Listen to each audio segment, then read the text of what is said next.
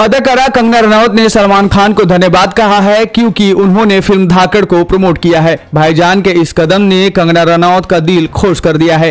बॉलीवुड अभिनेत्री कंगना रनौत की हमेशा से ही ये शिकायत रही है कि इंडस्ट्री के लोग उन्हें सपोर्ट नहीं करते हैं। वो बाहर से आई है, जिस कारण टैलेंट होने के बावजूद भी इंडस्ट्री के लोग उन्हें नीचा दिखाते हैं। हालाँकि अब वो ये नहीं बोल पाएँगी। अदाकारा कंगना रनौत इन दिनों अपनी अपकमिंग फ़िल्म धागड़ की प्रमोशन में व्यस्त है, जिसमें वो ज़बरदस्त एक्शन करती दिखेंगी। इस फ़िल्म को बॉलीवुड के भाईजान सलमान खान का साथ मिल गया है। सलमान खान ने कुछ देर पहले ही फ़िल्म धाकड़ का ट्रेलर फैंस के साथ शेयर किया है और पूरी टीम को शुभकामनाएँ भेजी है।